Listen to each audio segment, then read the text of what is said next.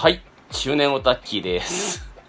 えー、家に帰ってまいりました。えー、今日の動画はね、予告通り、えー、開封動画、ね、えー、ジャンクカメラをね、大量に購入しました。開封動画いきます。これね、あの、住所のラベルは、えー外してますけど、本当にね、今開封。今から開封するとこですよ。よいしょ箱がでかくてねカメラが収まりきれない。よいしょ、えーよいしょよよっこらせ。うんいい感じですね。はあザクッと入ってますね。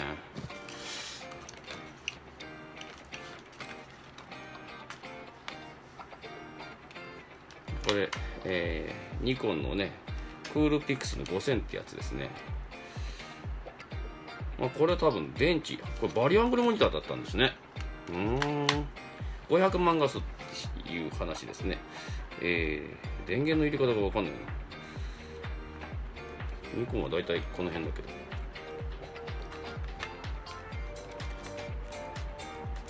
まあバッテリーが上がってるようです。これは？多分タムロンあたりのレンズじゃないかな。ニコン F マウント用か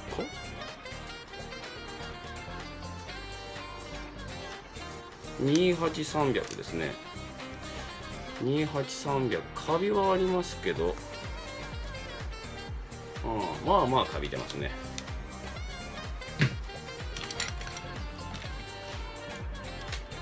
おこれ FD じゃん。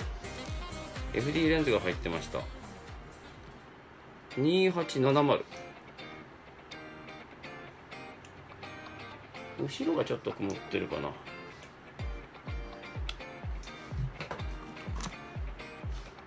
これキャノンのイクシだけど多分壊れてるな。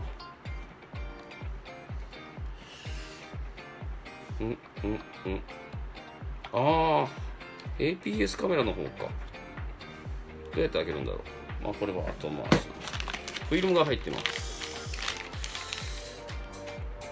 古いな2002年の2月。これは使えないかな。トキナのレンズが入ってますね。これ多分ミノルタマウントだな。ミノルタマウントで。長さが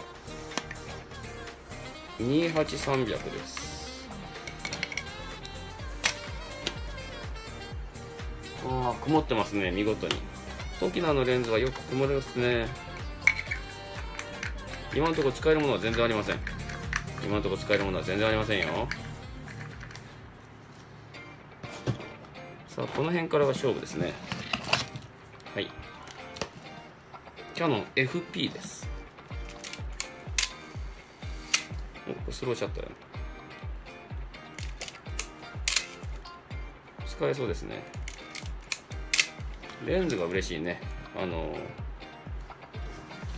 有名なオールドレンズ 50mm の F1.8 はいバリモンです。バリモン。バリモンですね。はいキャノン FP 当たりです。全速切れてるっぽいですね。これどうやって開けるんだろう。開けたことねえ。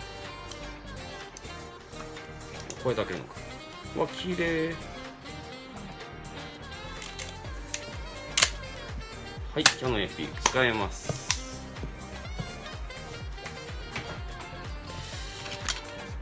これは明らかに違う。えっと、これなんだおペンタックスの MZ10 じゃないですか。初めてだから蓋の開け方すらわかんないぞ。あ、これか。はい。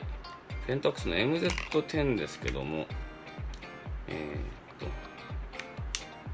と、もちろん電池は切れてますね。後で電池を持ってこよう。レンズが問題だな。と保留。はい。で、今回の大目玉。えー、ミノルタのオートコードですね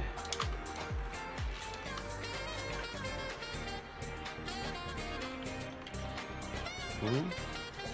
どうやって開けるんだこれ？こうか。シャッターチャージこれはあピントのヘリコイドは動きません状態は良くないですね。状態は良くないです。どうやってシャッター切るんだろう？どこが回ってどうなるんだろう？シャッターチャージのやり方が分かりません。これ後で調べて追加動画にするかな。レンズは綺麗ですよ。レンズはバリモンです。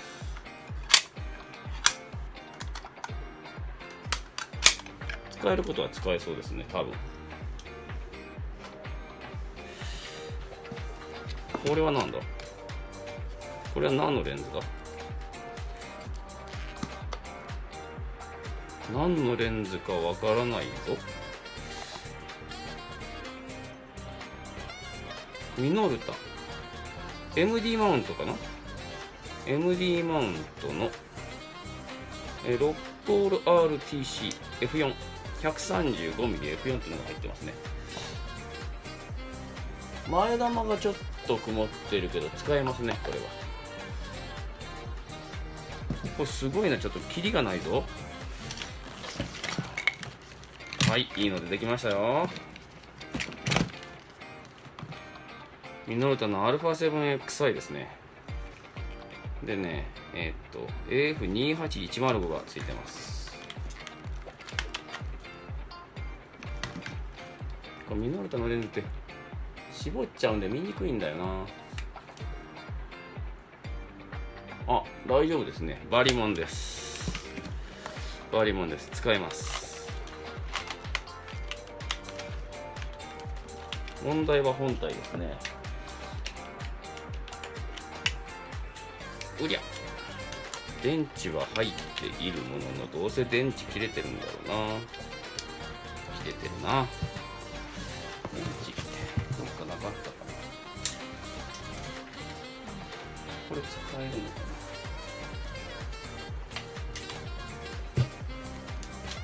はい電源入りましたシャッター切れます。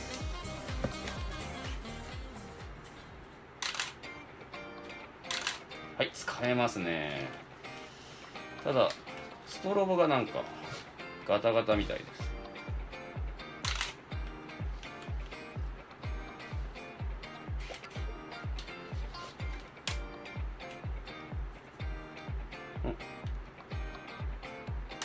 うん、ストロボが光りませんね。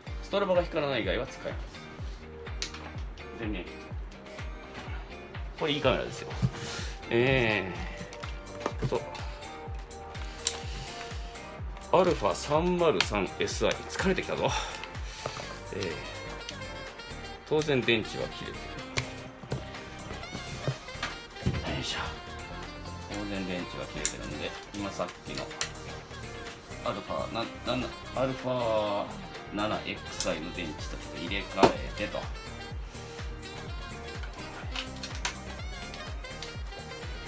お使えますね。使えますね。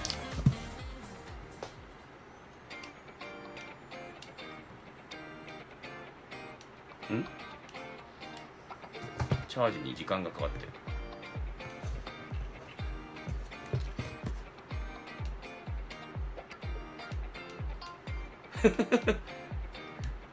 フリーズしたぞ。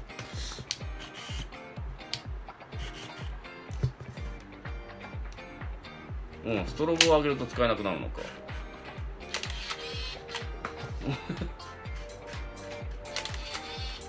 こいつもストロボが動くと使えなさそうですね。よいしょ。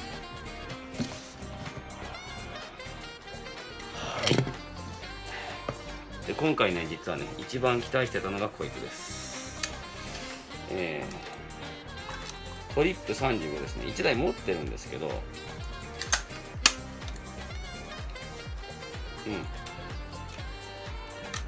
はいシャッター切れます。シャッター切れますね。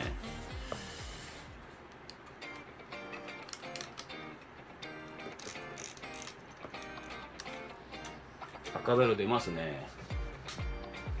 はい。露出系も生きております。完璧。これねこれいい値段で売れます。これでも音を取ろうと思ってねこのオークション手を出したんですね。結構完全な状態に近い、えー、トリップなんでまあまあいい値段で売れると思います。モルトを張り替えてファインダーを清掃して売ろうかな。うん。まあ死者もしなきゃいけないですけどね。よいしょ。はい出てきましたね。ミノルタの SRT101 これもね欲しかったんですね。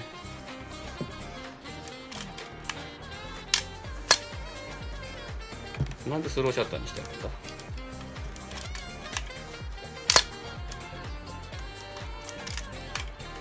使えるぞ。何もしなくても使えるぞこいつ。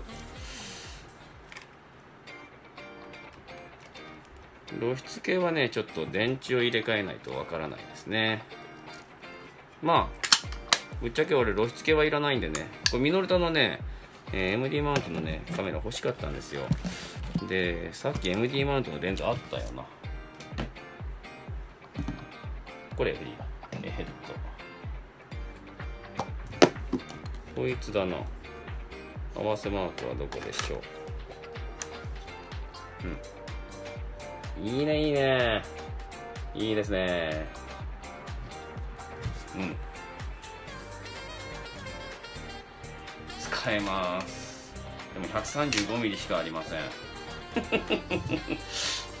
レンズ買わなきゃ。あこの手のねしょぼいストロボ欲しかったんですけどこの手は大体ね電池室の液漏れがなかったら使えるんですけどね漏れてないですね。使えそうですね。これオリンパスのケース。えー、オリンパス 35ECR っていうのが出てきました。こ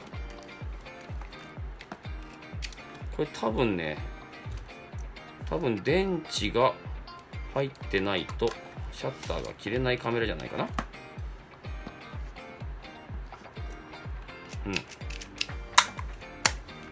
これはちょっと保留。EOS EOS100QD ですね。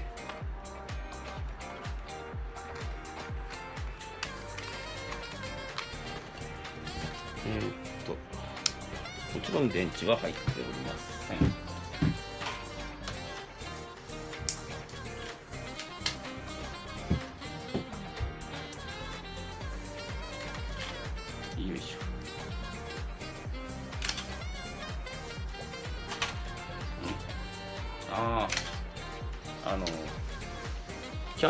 有のねこのシャッター膜の汚れが出ておりますね。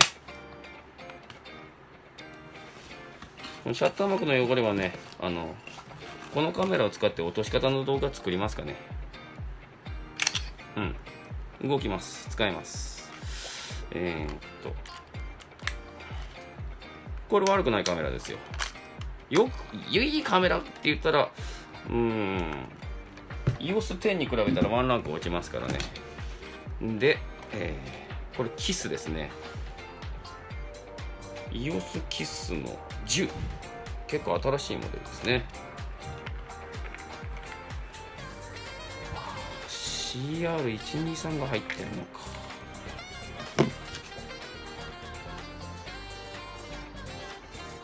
電池は切れてると思いますね。電池は切れてるね。電池仕入れなきゃいけませんね。ん？これなんだ。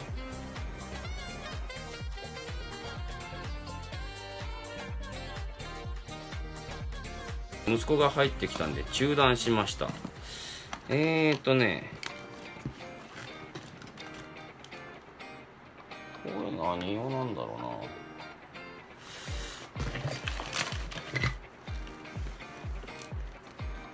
な。なんかご立派なケースがあります。これは何だ？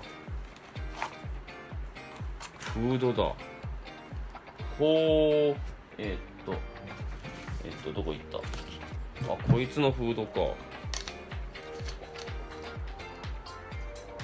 135mm はフード付きですね。うん。絞りも動作してますね。うん。標準レンズが欲しくなりますね。標準レンズがないんですね。標準レンズはこれということか。トキナーの F4 点。あでもこれ8200だ。全然標準じゃない。まあこんなもんですね。あんまり使えるカメラはありません。うん。だから今回のおこのキャップはちょっと嬉しいぞ。これね。オリジナルキャップですね。50mmF1.8 の。えー、っとあとこれ結構欲しかったんですね。これ出てきました。えー、キャノン T70 ちょっと電池入れてみなきゃいけないけどなんで欲しかったかって言ったらあの僕写真部高校で写真部に入ってえ、ー、とキャノンの、えーと、FT, FT っていうカメラ使ってたんですけどあの写真部って結構ハードにカメラ使うんですぐに壊れちゃってでカメラなしになったんですね。でまあその後あのお金を出してもらってニュー F1 を買うんですけどそれまでのつなぎで先輩が貸してくれたカメラなんですよ。意外にねワインダーが入ってて意外に使いやすかったんでちょっとこれ欲しかったカメラです。ちょっと電池を持ってこなきゃいけないな。んであとはね古いコンデジと古いコンデジとこれなかなかですよ。フィルムが手に入ればですけどこれねワンテンとまた違う規格のフィルムこれ何て言うんだろう。ちょっと聞いたことがある。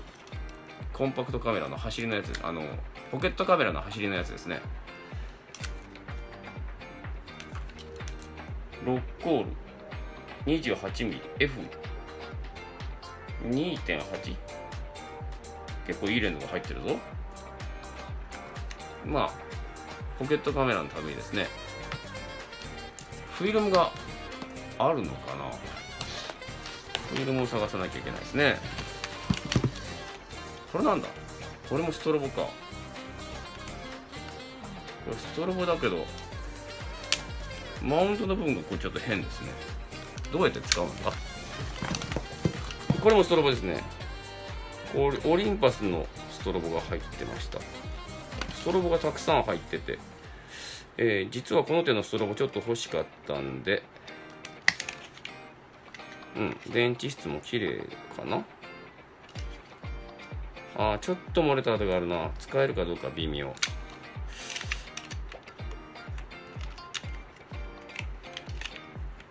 老眼なんだよねもう。見えなくて。老眼鏡持ってこなきゃいけないなどうやってはめるんだこれ？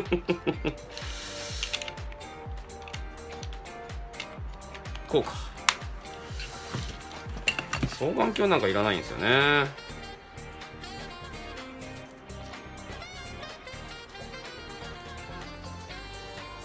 ああでもこれまあまあ見えるまあまあ見える子供にでもあげるか。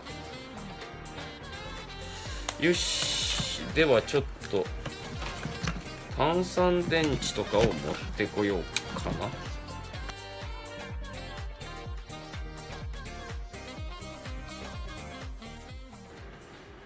はい。そんなわけでえっと1日丸1日が経過しましたがえー、っとねあの電池がですねえー、っとなかったものが多かったんで電池を多少揃えて動作確認をしてみました。で今回のそうですねオークション。うーん良かったのかな良かったのかな。ちなみにちょっとカメラを動かすと、まあ、この辺のものが全部ついてきたんですけどね。で、結論から言いますと、動くやつの方が多かったです。えー、まあこれね、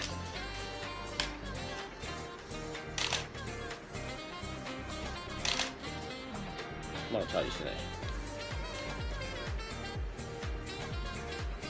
えー、アルファ 7XI に、これカビなし、曇りなしの、えー、ズームレンズ、えー、28105F3.5 から4.5。えー、で、これはね、なかなかでした。シャッター全速 OK で、スローシャッターもえっ、と、もっと、もっとしスローシャッターもね、全部動いてる。全部動いてる。で、電池入れたらね、露出系も動きました。えー、標準レンズがないので、標準レンズを買わなければいけませんが、まあ、この SRT101、この近辺のカメラちょっと1台欲しかったんで、欠点はね、これ、ミノルタのね、カメラ、よく知ってる方、わかるでしょうけど、この部品がないんですね。ないけどね、なんとか使います、これ。レンズ交換の時にね、これをちょっと動かしてレンズを外すんですけど、まあなんとか使える。ファインダーも綺麗です。これほんでモルトが新しくなってるんでね、多分ね、レストは仕掛けでやめたって感じのカメラだと思いますよ。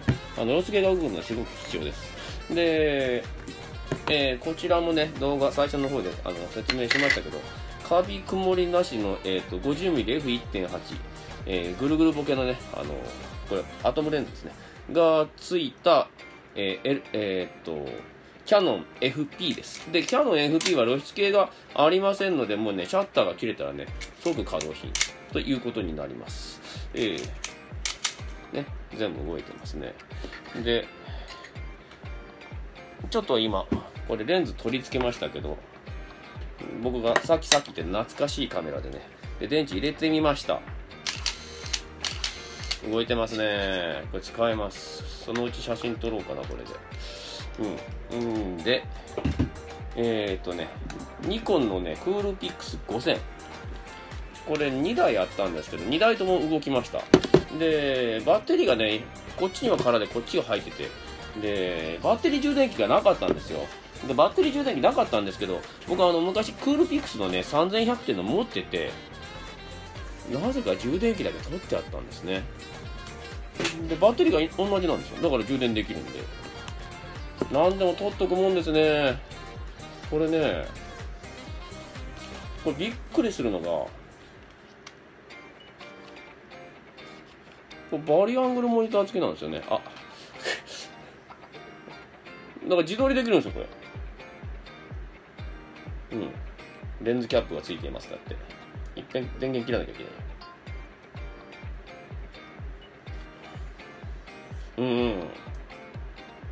こんな古いデジカメでバリアングルモニターあったんだ。知らなかった。でこれこのまま畳むと背面モニターになってもう最近よくあるやつですねこれね。最近よくあるやつですよね。こんなのあったんだね。知らなかった。うん。ちょっとこれは使ってみようかな。500万画素らしいです。500万画素あったらまあまあの絵撮れますよ。多分。だからこれは電池がないんで予備ですね。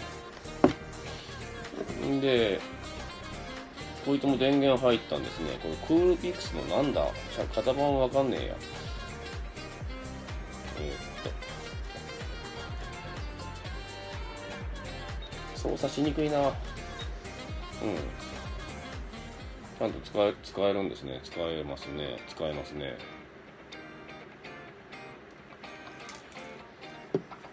あ、あ、蓋開けだった。よっと。えー、で、これも動きましたし、えー、EOS KISS 3か。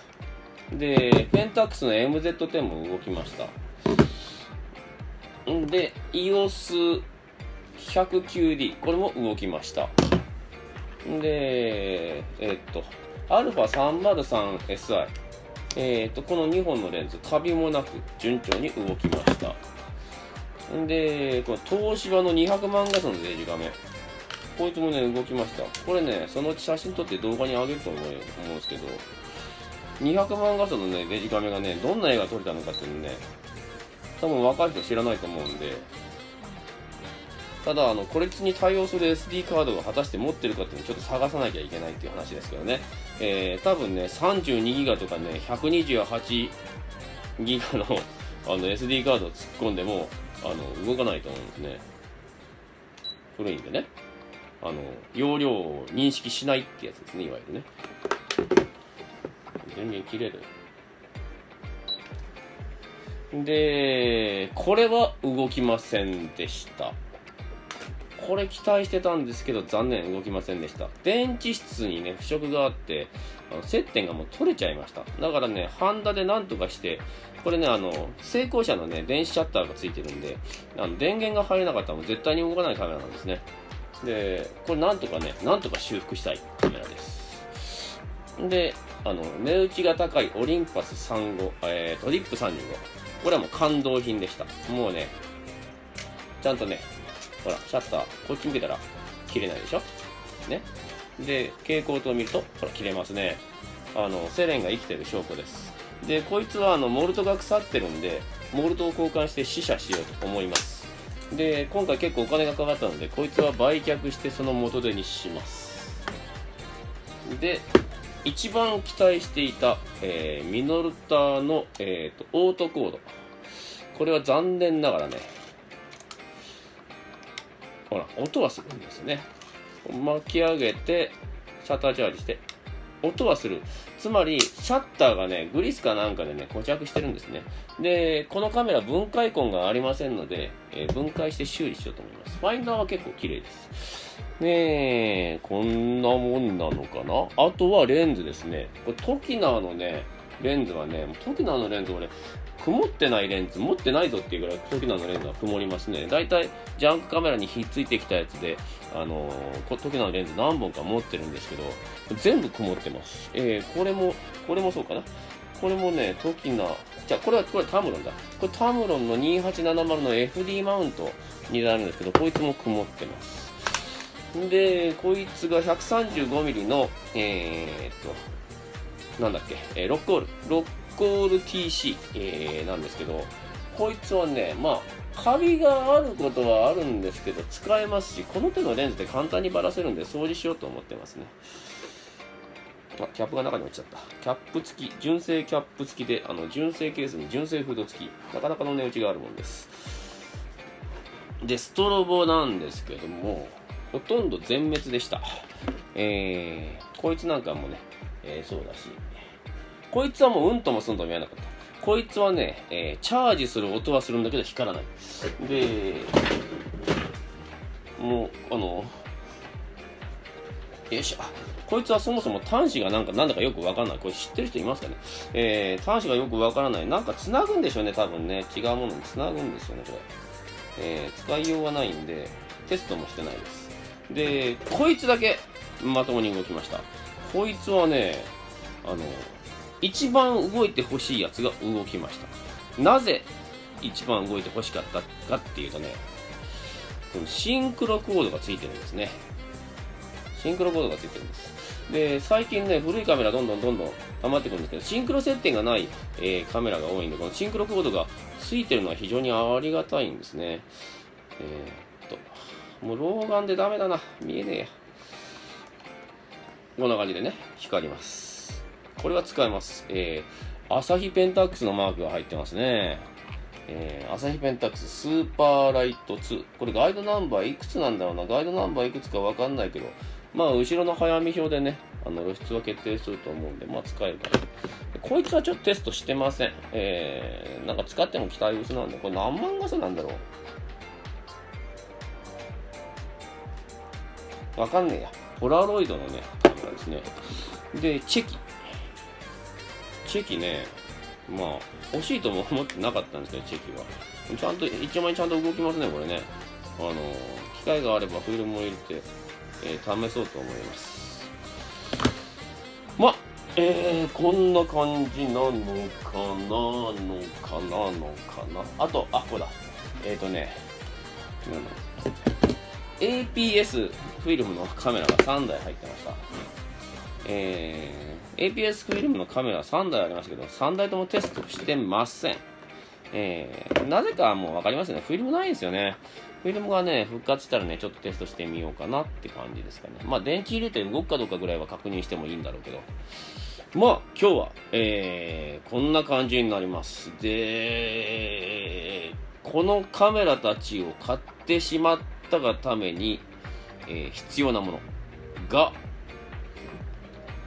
ペンタックス K マウントのレンズと、こいつのレンズですね。うん。これ、MD マウントなのか T マウントなのか詳しくないんでちょっと調べてから買わなきゃいけないね。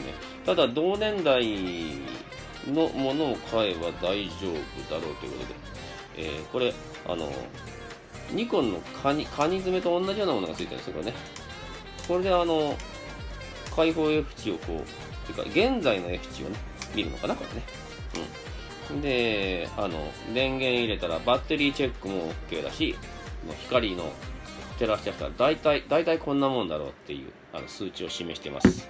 このカメラはあの分割速攻なのかな？史上初の分割速攻なのかな？なんかあの上下で分割速攻で空が入って空はあの露出ね明るい場合が多いんでその空と地面と別々に速攻するっていう画期的なカメラらしいです。え今日の、えー、動画は、えー、そんなとこなんですけども久しぶり本当に久しぶりに自宅からカメラネタを自宅から送るのは初めてじゃないかな。ただこれ問題がねあのこれどこに片付けるんだろうと思ってね。うん特映像みたいな。まあこんな感じです。えー、っとあのまとめてカメラジャンクっていうあのオークションの曲よく出てますけど今回はねはっきり言ってまだ当たりだと思います。なぜかって言ったら、これはあの、あのシャッターが固着してるだけで修理の見込みがかなり濃いですし、えーと、本当に動かなかったのは、このこいこいつだけ、オリンパス、えー、35ECR、あ本当に動かなかったのはこれ、こいつもひょっとしたら動くようになるかもしれないし、ほぼ、ほぼほぼ全部動くんですね。えー、あの今回は当たりだったと思います。えー、個500円で買っても10個で5000円。何個だ ?1、2、3、4、5、6、7、8、9、10、11、12、13、14、15、16、17、19台。19台、えー、入ってました。まあ、あの、この辺はゴミですけどね。ここの辺もゴミだし、これもゴミと言っていいし、これも多分使わないし、うん。本当に、えー、今後動画のネタになっていくやつは、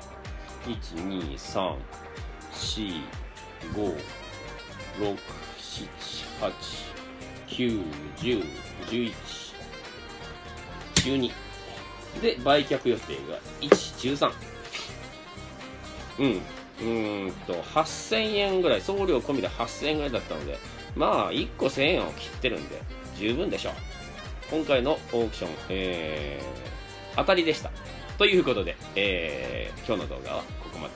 えー、次回の動画はね、今後ろで、えー、編集してますけど、あのー、EOS1N を使ってね、えー、撮った、えーと、露出オーバーとか露出アンダーでね、あのネガフィルムがどのぐらいあの画質が落ちるのかとか、そういうのをね、あの検証していく動画になりますけど、え、今ちょっと言っときますけど、結構驚きの結果になりました。はい、今日の動画はここまで。えー、また次の動画お待ちくださいませ。それではまた。